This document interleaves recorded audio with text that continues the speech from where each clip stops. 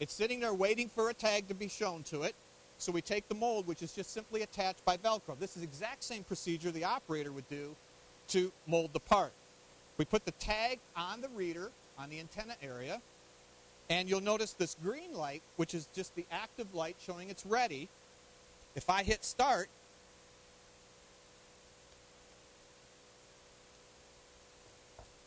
actually, I'm sorry, I need to check it. I have to hit teach on this screen. And you can see it turns red, then green. Now,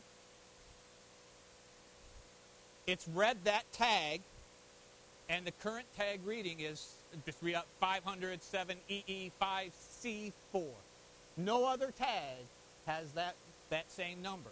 All I do is hit the teach. Now that tag has been associated to that mold. When the PRG antenna sees that tag, it's going to go into its memory and select the sink basin recipe. So when I hit start with that tag on the reader, that's exactly what's going to happen. At this point, all I do is hit return, and that is held in memory. That's just how easy it is to associate or teach a tag to know which mold it's to go to. You know, one say, well, how do I program the tags? The tag you don't program. It's the machine already has, very simply, been added to a, a recipe. A selected recipe has been created, very simple to punch in the values. And then we've got a tag that has its own number. We don't read to that tag or, or, write to that tag. We simply read the number off, just like your credit card getting swiped.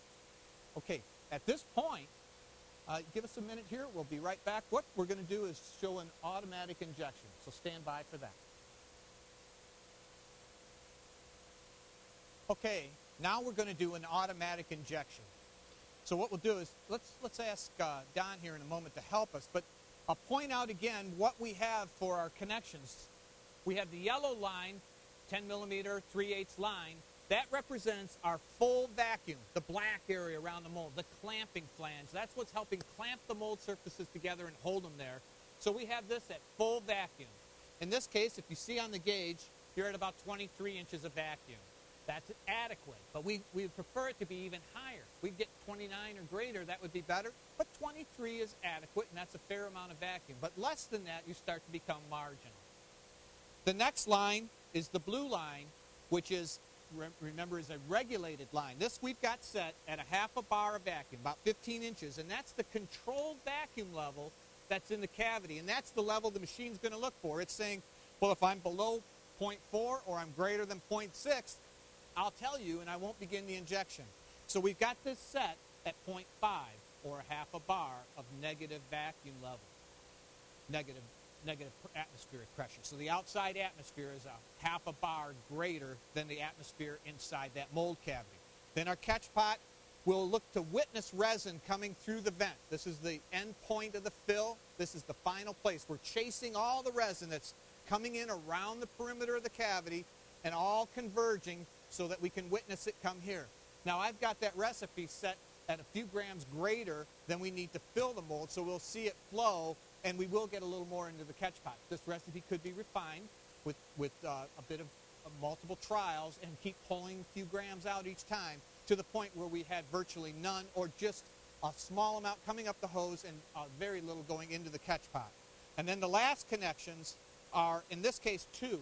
Remember, we've got more than we really need, but we've got two injection ports for demonstration purposes. So we're going to tee the mix head in here and then the resin will flow to both sides and then circumvent the cavity, converging to this point.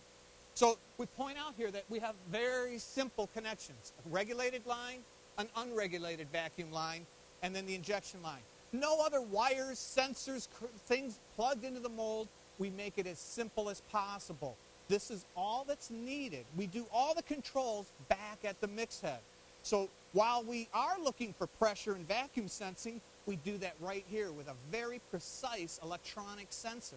But it doesn't need to be one connected to every mold. We, we years ago did it that way, and we've learned one sensor connected here communicates completely all the information we need and keeps it tidy and all the wires on the mix head not connected to the system, simplifying it as much as possible.